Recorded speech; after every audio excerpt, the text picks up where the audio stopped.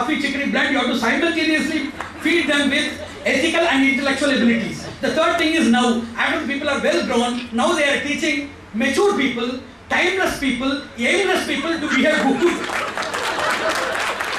How these timeless, aimless, mature and disobedient people can behave good? It is totally impossible.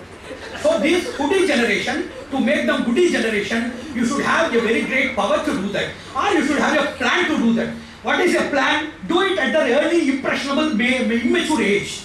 That is plan. What is power? You develop your spiritual power so that irrespective of any age, they can be brought under your control. So you should develop these things. That's why I told you in terrorism seminar to take a person and to convert them to a terrorist so that they can kill themselves in self-suicidal bombs. Also kill 100 people. It will take them just three months of training. But to make them corrigible and sociable, you have to take 10 years of classes, that too in vain. Because the patriots they speak from their lips, whereas the terrorists they teach from their hearts. They reach the hearts of the people, whereas these people reach the brain of the students. So it is a lip-brain conversation in patriotism and nationalism. It is a heart-to-heart, mind-to-mind deeper implantation in terrorism. That is the success story. So you follow terrorism, at least in the methodology of teaching, not in their execution. So this first model theory says that there are a lot of things, uh, problems in our society, they are known as corrosion and erosion agents. What are the corrosion and erosion agents? First thing is laziness, second thing is negligence, third thing is disobedience, weakness, physical weakness. Even though somebody is desirous to do that, those who are physically strong do unwanted things. Those who want to do wanted things, they are unfortunately physically weak. So they should be strong also, having a sturdy body also. All of these things are known as corrosion agents. And envy, envy, avarice, hostility, hatredness, all of these things are erosion agents. So we have to see how to prevent these things. There is a methodology in Shastras. They consider all entities and all characteristic features as convertible and investable. For example, you are having a fear. If you invest the same fear in your education in a productive methodology, that fear will be an additive to your education. But that methodology is an alchemical methodology, not chemical methodology. Chemical methodology of fear is diluting your ability and confidence to study. And alchemical, spiritual, special methodology is to convert the same fear, convert the same greed, convert the same enthusiasm you are having, convert the same type of envying others, prejudicial view on others as a healthy competitive spirit by which you can get more marks. So this conversion is only by spiritualism. Convert all good characters into bad characters is the modern wisdom. Convert all other unwanted things just as you are doing waste recycling, waste management. If waste, this type of material waste can be recycled and managed in modern science, why can't the paramaterial internal waste can be recycled and managed in our internal mechanism? So, spiritual thing is not only bringing out the energy, it is also the potential spirit of converting the wastages of the mind, the murky dust of the mind, the dust of the mind, the useless reservoir of the mind which has very much inhibited and accommodated all unearthly and essential malicious agents that can be very potentially converted into a very great internal psycho-nuclear power which is a very composite constructive power for the development of the society. This is the very great art of our land wherein by we can make everything convertible, recyclable and we can also use them for constructive purposes. That's why they say in Shastras that whatever you think as addictive and annihilative, by spiritualism, they can be converted into additives for your development. Addictives and annihilatives can be converted into how it is possible? There are two glimpses of Indian wisdom I want to say. Number one, there is a triad. What is the greatness of Indian wisdom? Indian wisdom taught about something complete, something perfect. It dealt with three things. Number one, eternity. Number two is truth. Number third is universality. So, it has given you idea about eternity, you can easily manage. For example, a weightlifter can easily lift or he can blow a feather. Likewise, any person knowing, having deeper knowledge about the eternity, he can deal with ephemeralism. He can deal with transience. He can deal with unsustainables. He can deal with unstables. So by giving the knowledge about eternity, it has made you to understand and operate everything with ease with or below eternity. Understanding truth, you can understand what is pseudo truth, what is infra truth, what is a mega truth, what is meta truth, what is para truth, what is supra truth, what is deceptive truth, and what is a partial truth and what is a division of truth. Everything, whatever may be in the form of part and parcels of the composite truth, you can very immediately understand those things because you know the truth. Third thing, if you know about the universality, you can easily organize your personal resources as well as your provincial resources, resulting in social harmony, domestic harmony, in national development. Everything can be done. So, understanding the three basic factors of the creation, universality, eternity, and truth, we can understand everything. That is the first benefit. Second thing is stipulative exercises. By executing, we get benefit. That is known as the rotary kinematics and applied energetic science in dynamism.